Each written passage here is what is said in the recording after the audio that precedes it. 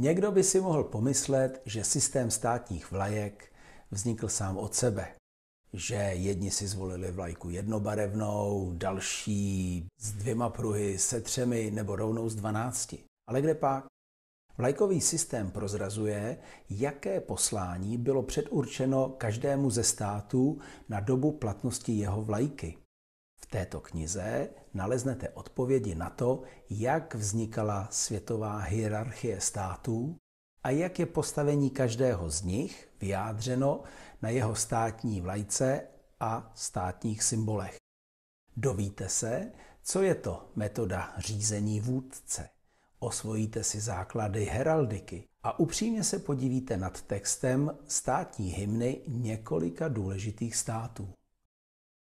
Kniha Státní symboly a státní suverenita na vás čeká v internetovém obchodě zakázané vzdělání CZ.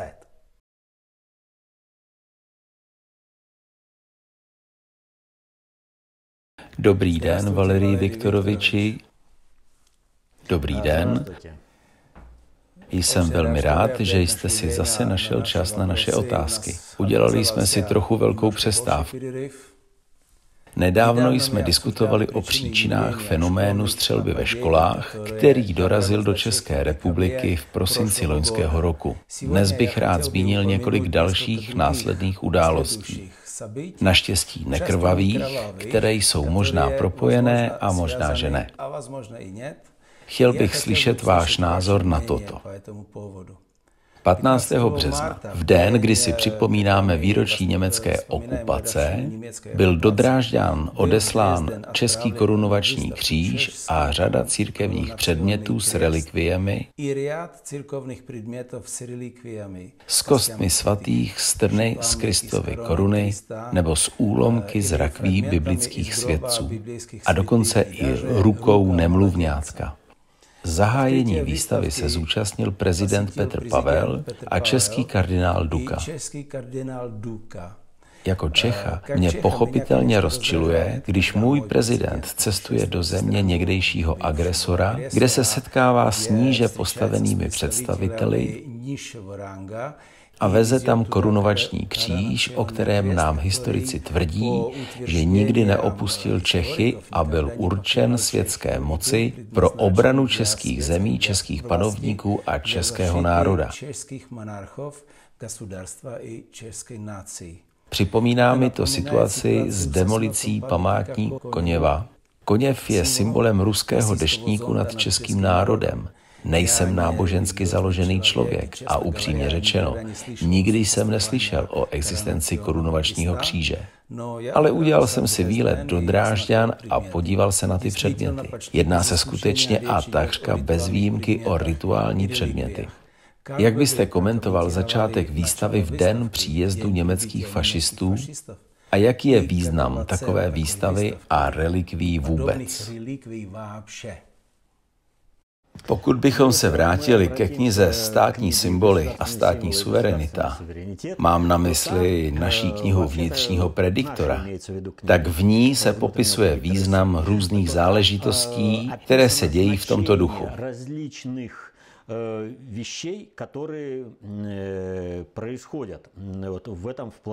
Jak zní fráze připisovaná Konfuciovi, světu vládnou znaky a symboly.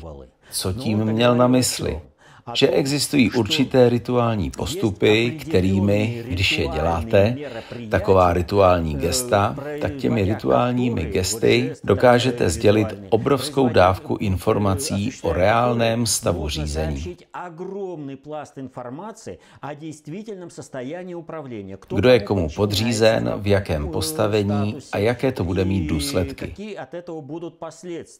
Ve státních rituálech není nic nadbytečného. A ani v mezinárodních setkáních rovněž není nic zbytečné. Při mezinárodních jednáních není nikdy přípustné, aby hlava jednoho státu jela do jiné země a tam se stýkala s činovníkem nižšího postavení. Činovníka s nižším postavením může přijmout výlučně tehdy, pokud nastane taková nezbytnost v mezinárodních vztazích. Pokud jako poštovní holub přiletí do této země, potom jej pochopitelně přijme. Nicméně, pokud hlava některého státu odcestovala do jiné země, aby se tam stýkala s činovníky nižšího postavení, to se pak jedná o příznak toho, že jeho země zaujímá podřízené postavení že není suverénní ve vztahu k té zemi, jejíž nějaký činovník, který tam vykonává nějakou obyčejnou funkci, jistě není hlavou státu, ani není speciálně delegovaný hlavou státu. a kdyby byl, stejně by byl tento speciální zástupce hlavy státu přijat jen na tvém území. To je jako se Zelenským, který svého času navštívil ústředí MI MI6 a tam se sešel se šéfem. To je jasná známka státní suverenity. Co se týče toho vašeho příkladu s relikviemi, tak si zase můžeme připomenout, že během jakékoliv války, když někdo válčí, tak v první řadě je ne snad cílem, ale právě snahou agresora zmocnit se symbolů moci krále nebo nějakého vládce a relikví národa.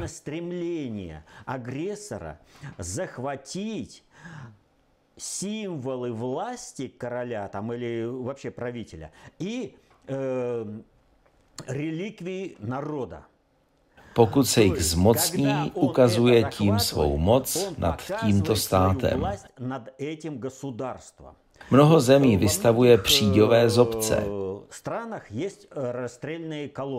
Příďový zobec to je taková věc na přídi antické lodi, která se používala k proražení jiných lodí. A když někdo někoho porazil, tak mu tu špičku odlomil.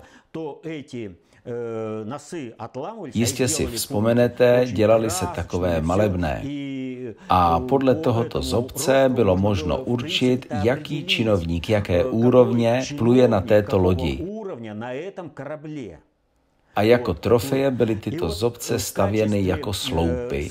a tak byly také ukazovány. Tak tady se podívejte na ty lodě, jaké jsme zajali, jaký, jsme, jaký národ jsme pokořili. Toto je znamení. Za všech dob, když někdo někoho obsazuje, jsou tyto symboly moci nad kým si okamžitě začleněny do státních symbolů a do atributů moci toho vládce, který se zmocnil nějaké země. В государственную символику и в атрибуты власти э, того, правителя, который захватил какую-то страну. Mám-li to vyjádřit slovy, hned si to dává do titulu. Vládce těch a těch zemí, pán těch a těch zemí. Ale pokud se podíváme na erby, tak erb pokořeného státu je okamžitě integrován do státního erbu. Э, сразу же включается в общегосударственный герб. Vezmeme-li rakousko-uherské císařství nebo jakoukoliv jinou říši, všude to uvidíme na vlastní oči, že symboly moci a relikvie národa se používají proto, aby se pokořený národ integrovaný do říše podřídil moci. Используется для того, чтобы покоренный народ, включенный в свою империю, был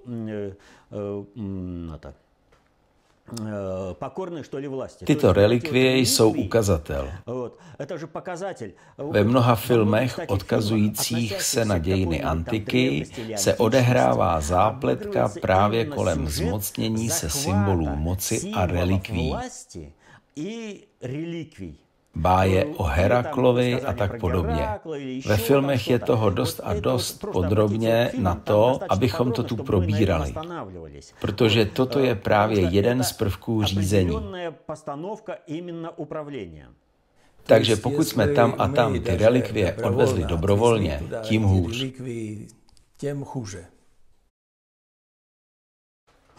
Bez pochyby. Nejen, že jste je prostě odvezli, Hlava vašeho státu se sešla na území jiného státu s činovníky nižšího postavení. Na teritorii другого государства с чиновниками ниже его по статусу. To okamžitě staví stát do určitého rámce. В определенные рамки. Вот. U nás jsme to měli v 90. letech. Nějací úředníci na velvyslanectví rozhodovali o tom, kdo má být ministrem. Ministři si k ním chodili pro dobrozdání.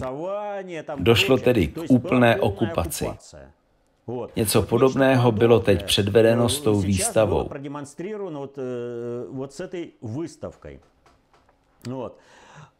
Tak ještě taková otázka. Přihlédneme-li k tomu, že samotné Německo také není moc suverénní, tak to se jako dostáváme do řetězce podřízenosti. To, že se suverénna, to my jak by v cipočke podčinnosti popadajem, v cipočku podčinnosti. Nikoliv. Je to maličko jiný příběh. Tady to funguje trošku jinak. Jde o to, že vůči Evropě jsou připraveny dva nadnárodní akční plány. Jeden plán patří globálnímu prediktoru. Dobře ho znáte. A ten plán je poměrně příznivý pro Čechy v tom smyslu, že nepředpokládá velké otřesy a národ se bude vymazávat pomalu. Jedná se o založení intermária. Je to založení sjednoceného, abych tak řekl, obnoveného, byť s jinými územími, rakousko-uherského impéria. Byť nyní se evidentně utváří uhersko-rakouské impérium. Tentokrát jsou lokomotivou sjednocování Maďaři. A to sjednocování se bude týkat Polska, Slovenska, Čech, Maďarska, Rumunska, Bulharska, Rakouska a pochopitelně Bosny a Hercegoviny. Болгария, Австрия, соответственно, Босния, Герцеговина. Вот. И еще там э, по определенным, это вот как бы такие вот моменty э, общие. Но Taková je teorie, ale kolikrát se něco naplánuje a nakonec je to realizováno docela jinak. Proto celá Jugoslávie by měla být také zapojena. Ale zatím se sil na jeho spuštění nedostává.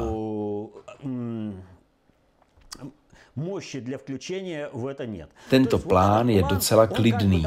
Nivelace národnostní podstaty, národní kultury bude probíhat pomalu a národy si toho ani nevšimnou. Prostě se jednoho dne ráno probudíte a už nebudete Češi nebo Slováci, ani Němci, ani Maďaři, ani Poláci, ale něco takového zprůměrovaného. Tak to je plán na založení intermária. No, Čemu je zapotřebí té národnostní nivelace? No zase jsme u toho Pražské okultní centrum světového židovstva. Židovství je vůbec první obětí globálního prediktora, kdy byl z jednoho národa vytvořen nástroj pro globální expanzi. A v souladu s tím, židé, aby se stali plnohodnotným národem, museli přestat být mafií, to znamená prodělat zpětnou operaci. Tak to by byl ten první plán. A ten druhý plán je pro Čechy podstatně závažnější, protože předpokládá totální likvidaci Čech jako země a Čechů jako národa. Jde o to, že, jak nyní víte, probíhá válka sjednoceného kolektivního západu proti Rusku. Až dosud je bojištěm Ukrajina. Ale dnes se tam už naplno zapojily všechny západní země a mezi nimi i Čechy. Docela nedávno zahynulo sedm českých důstojníků, když bylo zničeno velitelské stanoviště na bojové linii на линии боевого соприкосновения. A já podtrhuji, nebyli zabiti někde tamhle v týlu. Они были убиты. Byli А zabiti были přímo na убиты frontě, непосредственно na bojové на linii. линии фронта, на линии боевого соприкосновения. Они Byli были zasaženi поражены frontovými prostředky фронтовыми ničení. средствами Toto je поражения. zapotřebí Вот это chápat, вот надо frontovými. понимать, фронтовыми. Вот. To znamená, že Česko se už zapojilo naplno. Tusk již otevřeně přiznal, že nejenom Polsko se svými jednotkami účastní války proti Rusku, ale i jiné státy NATO. Takže jedinou otázkou je, kdy a jak identifikují tyto jednotky ne jako nějaké žoldáky, které, když je vrátí do jejich domoviny, tak je tam pohřbívají jako národní hrdiny pod národní vlajkou Если их удается доставить в страну э, пребывания, это происхождение, их там хоронят как э, э, национальных героев. А э, pod nacionálním flagem. A Macronovo vrtošení, že jako pošleme vojska na Ukrajinu, určitě tam budou. Francouzi už tam jsou. Jeden generál si takhle vyrazil v noci solo do hor, francouz, a zabloudil. A kolik takových francouzů už poslali? A pak se ukazuje, že to jsou francouzští důstojníci, aktivní na různých úrovních a žádní žoldáci, které se tam podařilo poslat. Macron svým chováním usiluje o to, aby jednotlivé státy přiznali svou přítomnost pod národní vlajkou. A to v Turánu znamená, že se tyto státy stávají legitimními cíly pro ruské strategické síly v naší doktríně stojí, že pokud nebudeme schopni zajistit bezpečnost naší existence běžnými prostředky, potom při ohrožení naší existence použijeme jaderné zbraně. Jakmile evropské země vyhlásí, že jejich národnostní armády jsou tam přítomny pod národní vlajkou, nezbývá nám jiná možnost. Válka na Ukrajině nyní probíhá měkce. Je šetřeno civilní obyvatelstvo, infrastruktura je okamžitě obnovována. Ale jakmile se tam objeví zahraniční vojska pod svými národními vlajkami, znamená to, že tyto země musí být zničeny. Pokud se tam pod svou národní vlajkou objeví francouzi, nač bychom měli čekat, kdy nám Francie uštědří jaderný úder.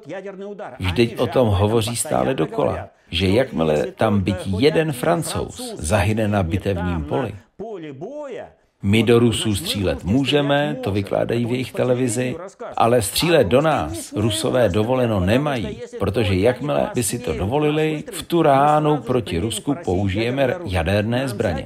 Proč bychom měli čekat, kdy proti nám použijí jaderné zbraně? V tom máme jasno. Přišli jste k nám válčit, tak si to užijte naplno. A to samé se vztahuje na všechny další země, takže plán, který předpokládá zapojení evropských zemí do války s Ruskem, to je plán amerických státních elit, které sní o zachování své globální dominance a o zatažení celé Evropy do války. Svoje globální dominování i ввязать всю Европу в войну.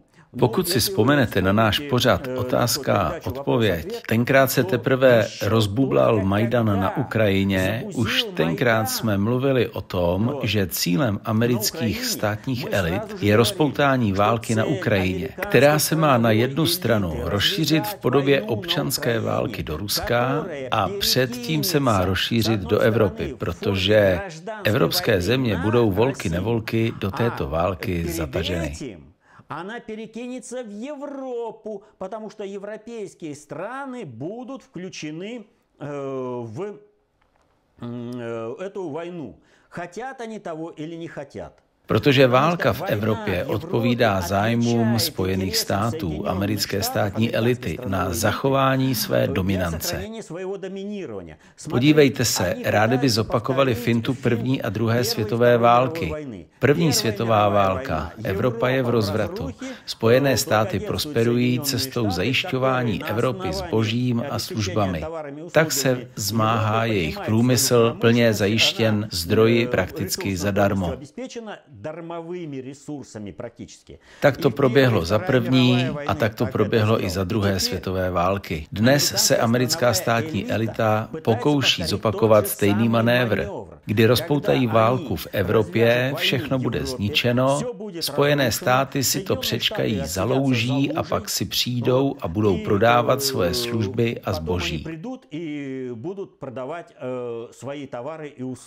A všechny pokořené národy tváří v tvář takové síle, jako tomu bylo po první i po druhé světové válce, všichni se podrobí vůli Spojených států. To je to, co potřebují. Potřebují zlikvidovat Rusko a potřebují zlikvidovat Evropu. Tak se to stalo v prvních dvou světových válkách. Jenže oni nechápou globální politiku. A z toho důvodu jsou jako děti, které vidí, že když dospělí dělají to a to, něco jim z toho vychází. A protože se celá americká státní elita tak či onak účastnila nejrůznějších řídících postupů v roli kádrové základny, jejímž prostřednictvím bylo to řízení vedeno, tak něco chápe. Kdybychom ovšem hledali podstatu toho, co ví o konceptuální moci a globální politice, uvidíme čiročirý kocourkov. Jako když na ostrovech v Tichém oceánu papuánci stavěli slaměná letadla a modlili se k ním, protože ta letadla přiváží potraviny.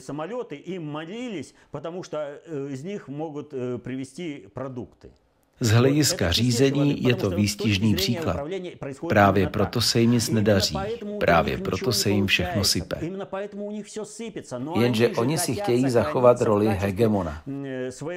Ну, в качестве гегемона, Přitom už to všichni prohlásili. Už i Borel to prohlásil, že Spojené státy už žádným hegemonem nejsou. Už to prohlašují i indičtí vysocí státní úředníci. Je hotovo. Pax Americana ukončil svou existenci. Jenže oni v tom chtějí pokračovat. Takže mají jeden úkol. Dokud jsou k mání lidé, které oni sami rozmístili, v rámci svého řízení Evropy.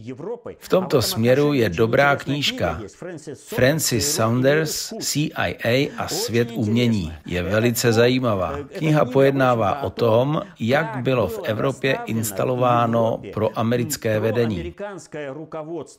Dneska lidé nedokážou pochopit, kde se vzala Annalena Baerbock, kde se vzala Ursula von der Leyen, Scholz, Macron a další.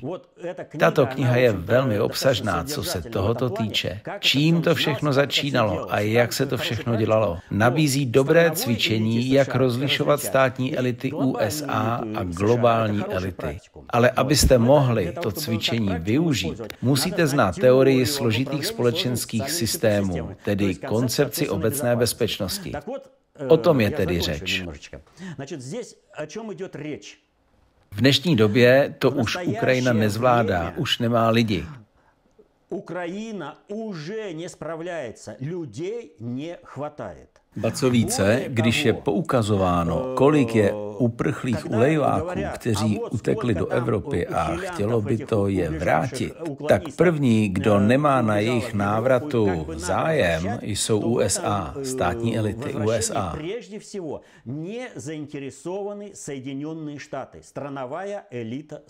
Je jedno, kolik se jich vrátí, stejně zahynou na bitevním poli. Bojovat se bude do posledního Ukrajince, ale Rusko stejně zvítězí. Ale v tomto směru všechno skončí výlučně na území Ukrajiny. To státní elitě USA nevyhovuje. Ta potřebuje plnohodnotnou válku v Evropě. Proto není potřeba, aby se vraceli z Evropy ulejváci, kteří prchli z Ukrajiny ale aby tam ta Evropa začala směřovat své ozbrojené síly v libovolném počtu.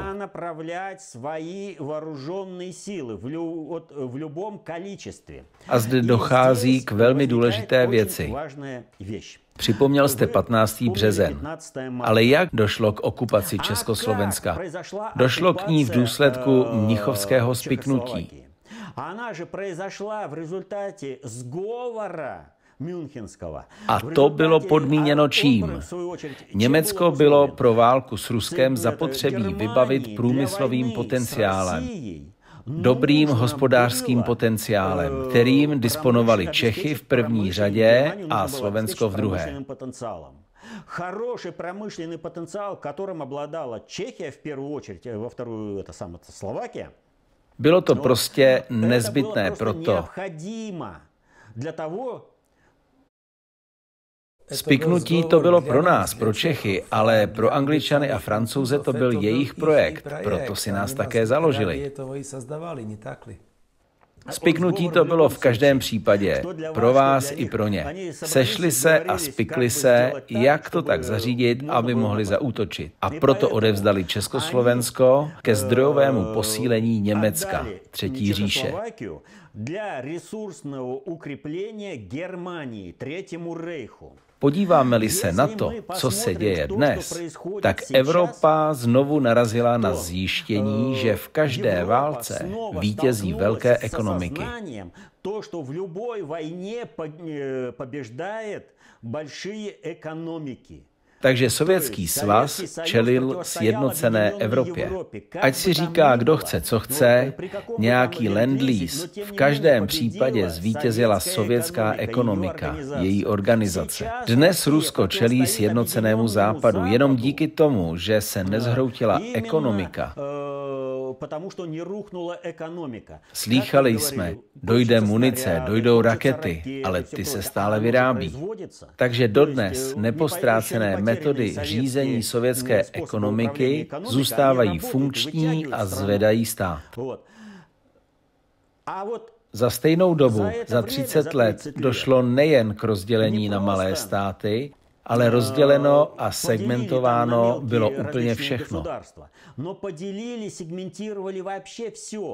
Byla pokrácena vojska na to, byl pokrácen velký průmysl. Aby bylo dnes možné obnovit výrobu nějakých typů zbraní v Německu, banálně se jim nedostává kádrové a průmyslové základny.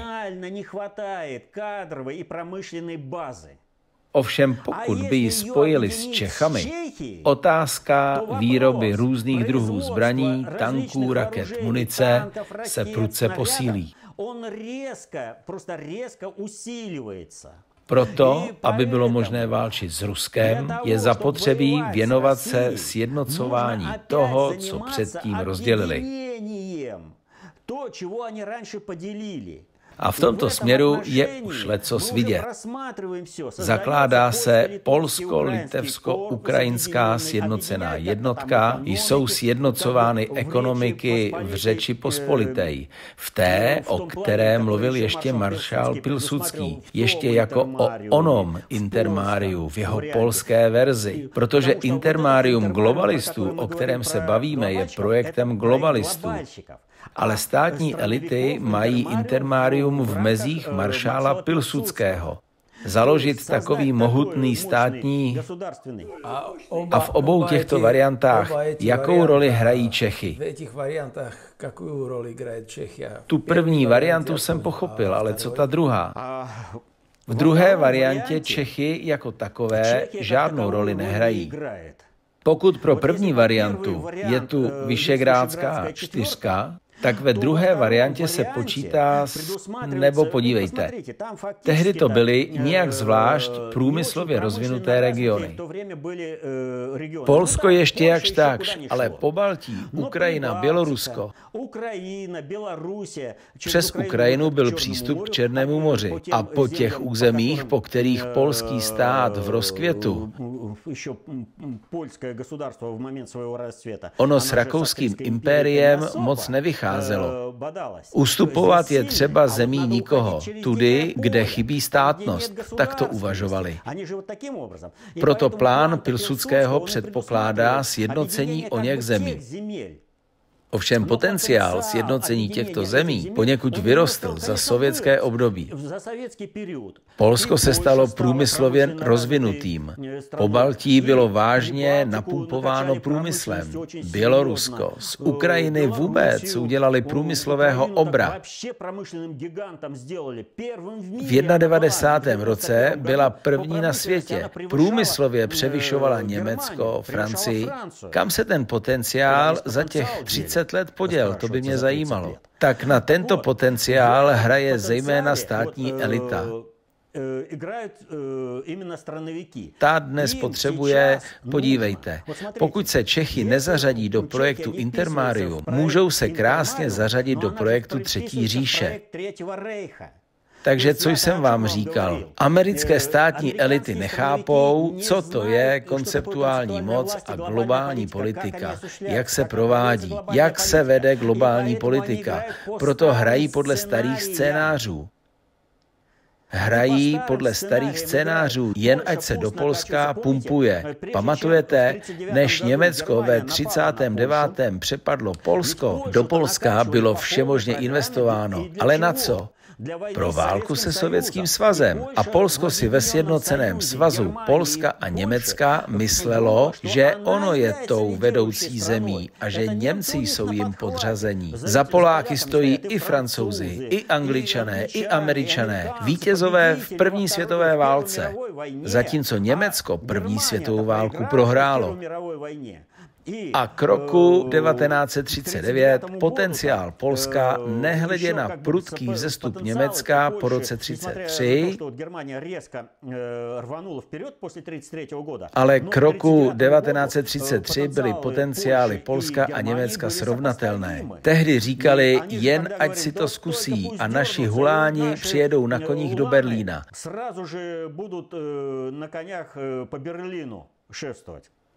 Takhle si věřili. Proč muselo být Polsko zlikvidováno? No právě kvůli tomuto. Protože státní elity tímto svým nechápáním globální politiky, tímto svým chováním překážely přípravám na válku proti Rusku. Bránili sjednocení všech sil, veškerou pozornost stahovali na sebe. Polskou elitu odstranili a protiruský potenciál se z Polska nikam nevytratil a byl bez zbytku využit třetí říší. Připomínám, že v armádě Wehrmachtu a SS bojovalo půl druhého milionu Poláků a vojsko polské, které bojovalo na straně rudé armády, čítalo maximálně 300 tisíc. straně sovětské armie v maximumě sastavilo 300 tisíc. Tomu říkám rozdíl. Na jedné straně půl druhého milionu a ještě bychom neměli zapomenout na armiu krajovou. Armia Ludová byla na straně Sovětského svazu a na straně Polska, ale armia krajová proti Německu a okupantům nebojovala. A jakmile přišel Sovětský svaz, v Turánu se zapojila do partizánské války proti Sovětskému svazu, proti Rusku. Státní elita se stále drží starých šablon. Proto chce posílit Polsko, posílit Německo spojením s Československem, s jejich potenciály. A na Slovensko tady nezapomínejte. I pro Čechy, i pro Slovensko platí stejná varianta. Ono se sice za druhé světové války chovalo zdánlivě samostatně. Podobná varianta se předpokládá i nyní. Ale jeho potenciál byl nasazen celý, úplně celý. Jeho armáda byla vypravena do války se Sovětským svazem. Kolik dokázali, tolik vypravili. Tři divize. Да. Вот.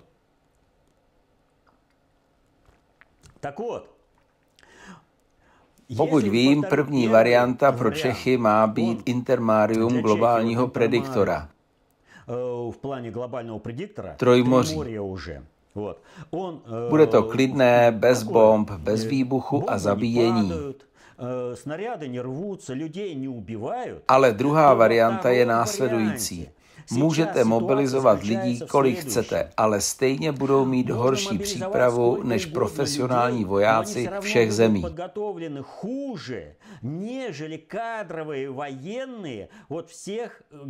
I takové Estonsko, jehož armáda se vejde do nákladního výtahu i se svým orchestrem, všichni budou bez zbytku využití. A nasazen bude veškerý zbrojní potenciál. Americká státní elita potřebuje válku, potřebuje totální zničení Evropy.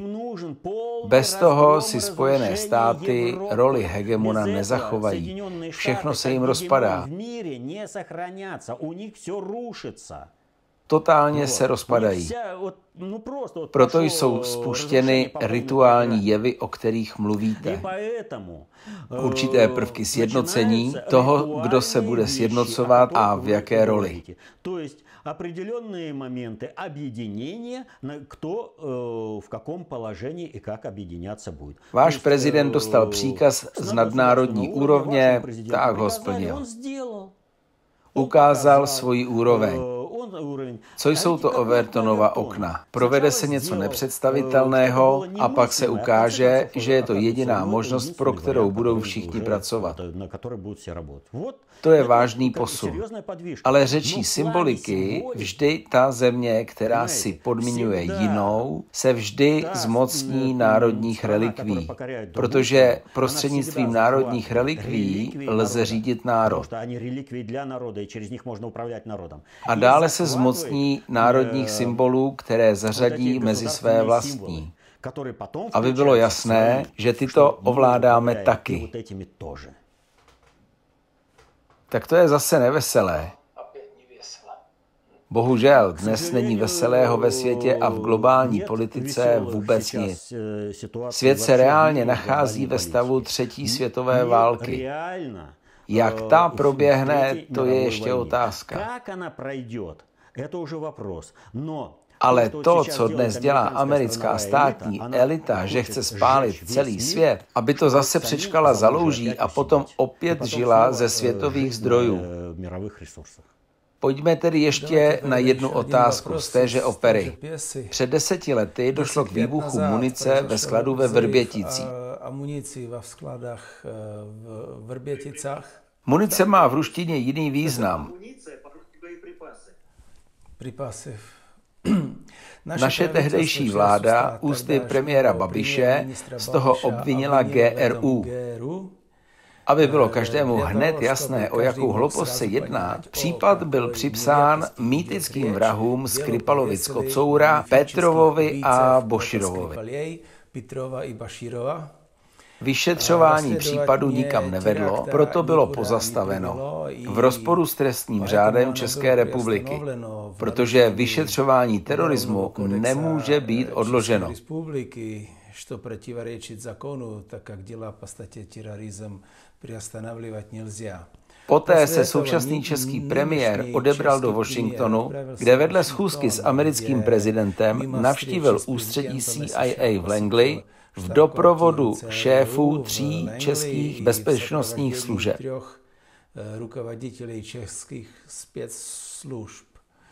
Českou veřejnost znepokojilo to, že jeden z jeho doprovodu, generál, velitel vojenské rozvědky, rezignoval půl roku před ukončením výkonu jeho funkce.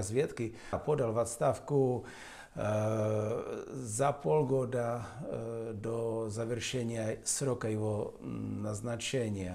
Veřejnost si to vysvětluje tak, že naši politici patrně dostali v Langley takové úkoly, jaké možná neustálo generálovo svědomí. Jak vnímáte takovou událost, postup události? A jak si představujete budoucnost našich České a Slovenské republiky, které se v současné době nalézají ve vyostřujícím se rozporu a vzdalují se od sebe?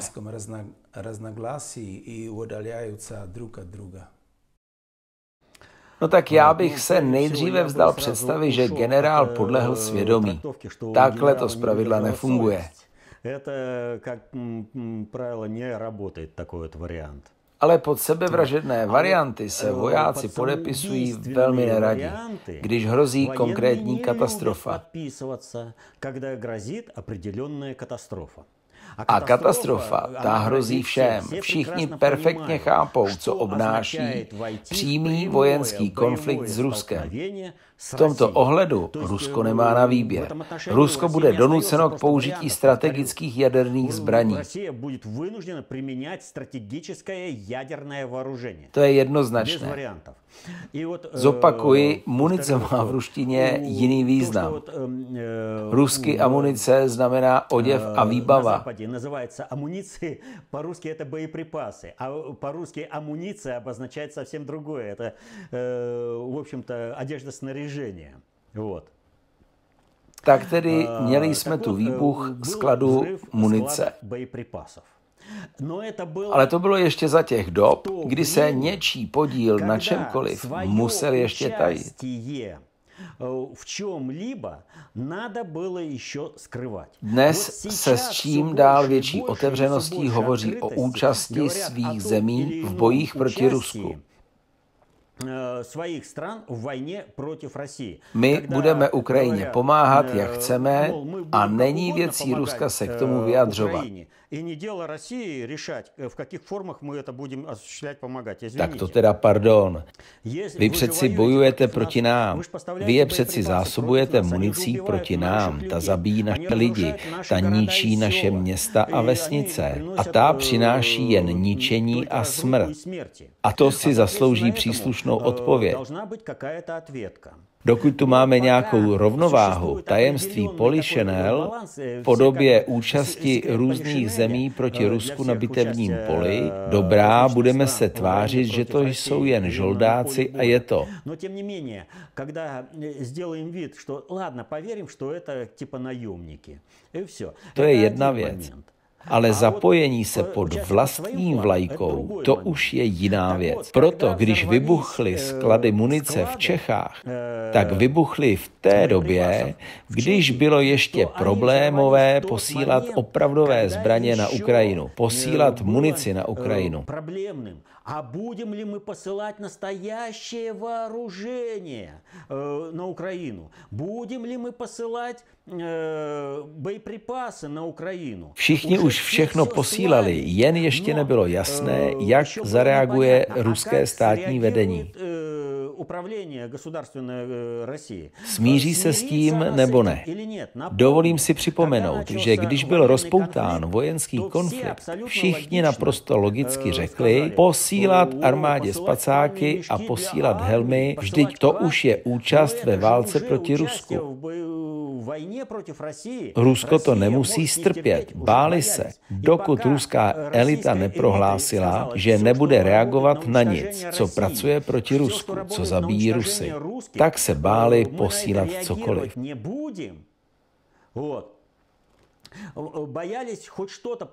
A potom postupně začali posílat jedno, druhé a začali to dělat otevřeně. Tolik a tolik tisíc nábojů, tolik a tolik děl a další věci.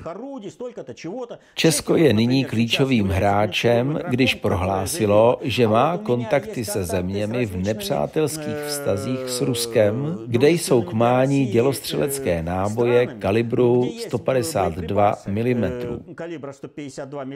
Tak pojďme, složíme se, my to tam nakoupíme a pošleme to na Ukrajinu. Už se o tom hovoří otevřeně. Tak to ale tehdy říkat nešlo. Úbytek munice bylo zapotřebí nějak odepsat. Podobně se odepisovala munice i na Ukrajině. To ví celý svět. Jakmile přišla nějaká inspekce do muničního skladu, co se stalo? Vybouchl. Bylo zapotřebí pokrýt chybějící, no tak vybouchl. A kolik toho tam vybouchlo, to už není důležité. Kdyby to vybouchlo, nic by tam nezůstalo. Ale kde pak vybouchlo všechno, jak vám to říkáme, všechno odepsat. V Čechách se odehrálo přesně to samé. Síla výbuchu vůbec neodpovídá množství odepsané munice. Jednalo se o takový rituální výbuch. Ale dnes už litují i toho. Jen si představte, museli nechat vybouchnout tolik munice, kterou dnes Ukrajina tak potřebuje. Dneska bychom mohli poslat střelivo Ukrajině, což tenkrát nebylo možné. Tehdy bylo zapotřebí předstírat nějaký výbuch.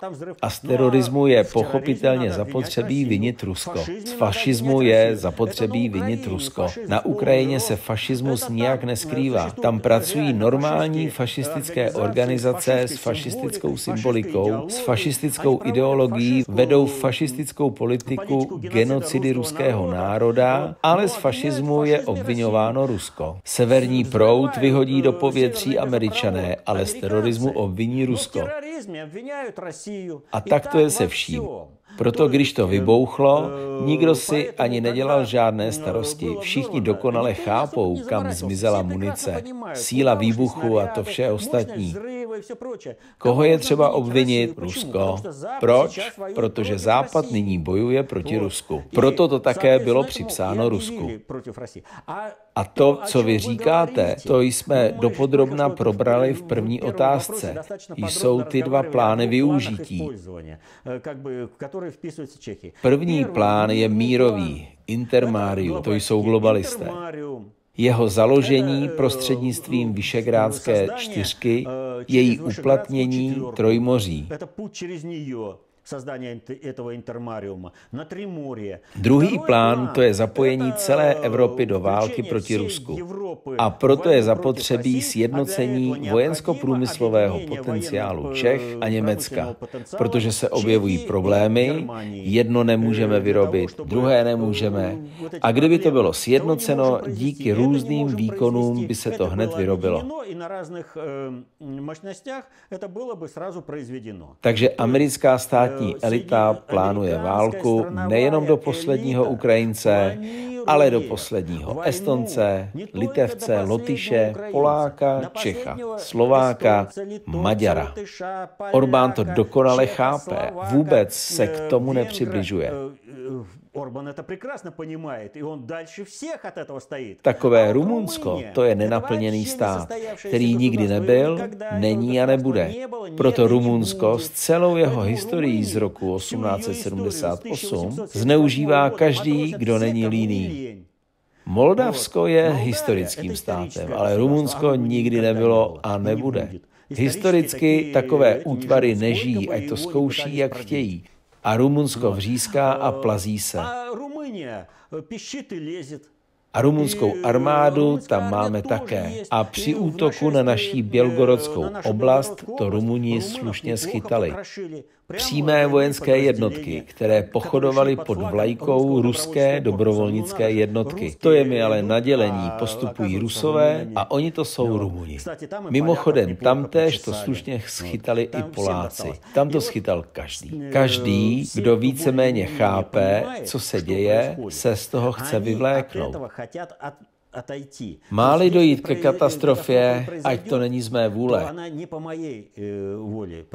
ale nastane-li taková situace, dobrá, odstoupil si a ta jaderná bomba, která spadne na město a všechny zabije, tebe jako nezabije?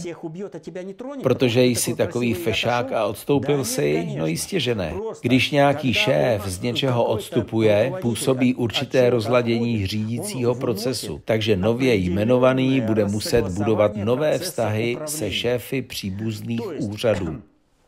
Новоприбывшему нужно будет заново налаживать контакты с руководителями смежных э, ведомств. A ten, který odstoupil, a to zejména v rozvědce, bývalý neexistují.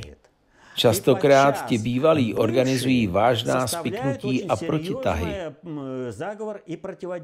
Takže rezignace v podstatě rozvazuje ruce tady těmto bývalým šéfům rozvědek, tajných služeb.